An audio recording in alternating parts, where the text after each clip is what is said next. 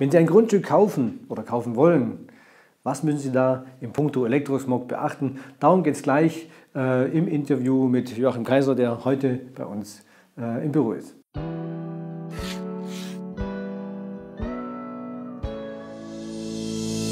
Elektrosmog, ganz wichtiges Thema, wird immer heißer, wird immer äh, heftiger diskutiert. Ähm, und wir wollen damit auch beginnen, um zu sagen, ganz am Anfang, bevor Sie bauen, was ist denn da wichtig? Was können Sie da schon beachten, äh, damit Sie hinterher keine bösen Überraschungen haben? Joachim Kaiser, Baubiologe und Schlafplatzexperte in diesem Sinne, äh, hat da viel Erfahrung und kann uns darüber berichten. Herr Kaiser, ich habe ein Grundstück, das mir angeboten worden ist.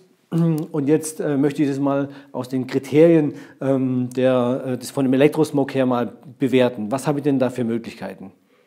Also zunächst mal wäre mir jetzt wichtig, wenn es mein Grundstück äh, wäre, dass da kein Hochspannungsmast auf dem Grundstück steht, der äh, zum Beispiel sehr stark äh, sehr starke Ströme transportiert. So 380 Kilovolt Leitung sollte man nicht unbedingt in der Nähe haben. Was heißt denn in der Nähe? Also das, also das ist direkt über mein Haus, geht ist vielleicht ja schon sehr extrem. Aber ja, das wäre vielleicht extrem, aber es gibt natürlich auch, auch wenn es an der Seite vorbeiläuft irgendwie, wenn man da jetzt nicht bei so einem richtig großen Mast äh, mehrere hundert Meter Abstand hat, dann ist das äh, nicht gut. Kann man denn das messen, was da noch ankommt auf dem Grundstück an Feldern? Ja, klar. Das ja. geht. Da gibt es alles physikalische Messgeräte, wo man dann sieht, ja, so hoch ist es. Ja, und das Blöde an Elektro, also an magnetische Felder, wo es so einen Hochspannungsmast erzeugt, die lassen sich, die lassen sich nur sehr schwer abschirmen. Also da hat man auch dann, wenn man tatsächlich das äh, Haus baut, hätte man es dann schwer, das tatsächlich wegzukriegen. Genau, so also magnetische Felder, so hohe, lassen sich, wie gesagt, sehr schwer abschirmen. Da hilft am besten nur Abstand, sonst wird es richtig teuer.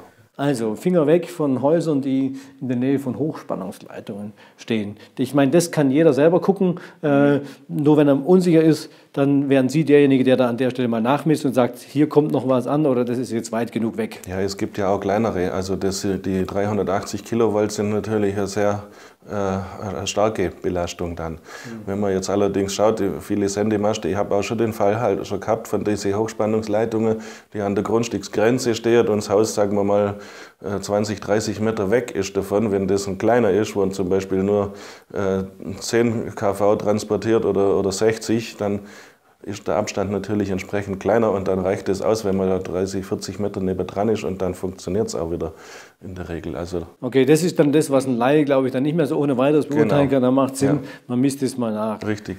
Ja, zweiter Punkt ist natürlich Handymasten. Mhm. Ja, ähm, so ein Handymast ich habe das ja schon, äh, sieht man ja immer mehr, auch auf Häusern, direkt auf Einfamilienhäusern obendrauf, äh, die dann äh, ähm, das ganze Gebiet versorgen und so weiter und so fort.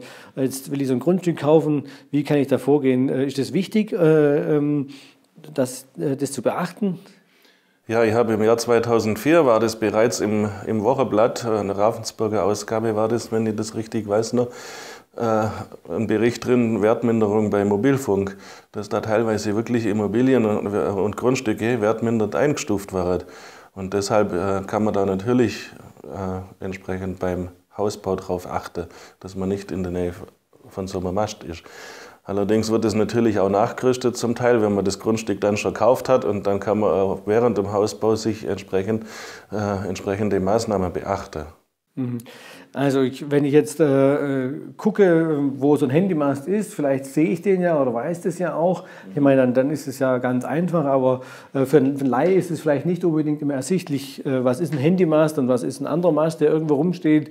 Äh, wie, wie kann der da vorgehen, wenn er sagt, ich habe hier ein Grundstück im Angebot, möchte das gerne kaufen, was kann der da tun?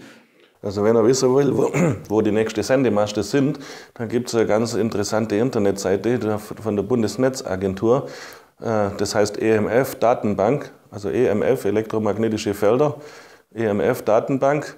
Äh, und da kann man dann wie bei, bei Google Maps dann die Postleitzahl eingeben und die Straße mit Hausnummer und dann wäre die umliegende Maste da angezeigt auf der ah, Karte. Das ist ja spannend. Wir blenden Ihnen gerne unten die äh, Seite entsprechend ein, dann können Sie da draufklicken, weil das macht natürlich Sinn äh, für unsere Kunden erstmal zu gucken, wo ist denn so ein Handymast in der Nähe.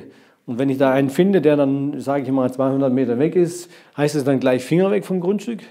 Nicht unbedingt. Also das kommt immer auf die Richtung drauf an, in welche Richtung jetzt die, äh, die, Sende, die Sendeleistung stattfindet. Das heißt, das kann dann auch sein, dass der äh, geht am Haus vorbei, die Hauptstrahlungsrichtung geht am Haus vorbei äh, oder, oder auch nicht, je nachdem. Das müsste man dann halt entsprechend am Grundstück dann äh, messtechnisch feststellen. Kann man das bereits schon äh, am Grundstück feststellen, wenn das Haus noch nicht gebaut ist? Das geht, ja. Ja. Mhm. Ähm, weil da bin ich ja, stehe ich ja, das haben wir noch am Grundstück und wenn ich da noch vier Geschosse drauf baue, kann das oben und unten unterschiedlich sein? Das kann auch unterschiedlich sein, ja, weil manchmal sind die auch auf, auf einer Anhöhe, die Sendemaste, und dann ist da natürlich eine unterschiedliche äh, Richtung, auch wenn, also die Strahlrichtung immer gleich, aber natürlich die Streuung eine andere und da kann es dann schon sein, dass das unten ganz anders ist wie oben. Deshalb macht es schon Sinn, das sich auch mal auf dem Grundstück anzuschauen, das Messergebnis und gleichzeitig zu schauen, wie ist die topografische Lage von dem Sendemast. Anhand von der topografischen Lage kann man das dann einschätzen. Äh, ja, so ungefähr. Wie, wie das dann ausgeht. Ja. Spannend. Äh, immer mehr Menschen telefonieren mit Handy. Jeder hat ein Smartphone etc. pp. Aber dass ein Sendemast ähm, tatsächlich dazu führt, dass ein Grundstück vielleicht auch an Wert verliert, ist natürlich eine spannende Erkenntnis. Ähm, trotzdem müssen wir uns ähm, als Bewohner und als Architekten und äh, Beratende natürlich äh, wappnen, ähm, damit Menschen trotzdem in den Gebieten auch wohnen können, wo vielleicht so ein Handymast nachgerüstet werden wird. Mhm. Wir haben in einer äh, der vorgehenden Videos auch ähm, schon die Maßnahmen erläutert, die man dann machen kann, wenn es zu spät ist, also wenn man schon gebaut hat und wenn man dann äh, feststellt, dass der Elektrosmog einem nicht gut tut, ähm, dann gibt es da in den äh, Videos, die wir schon gemacht haben, einige Tipps auch von Herrn Kaiser, der uns da beraten hat.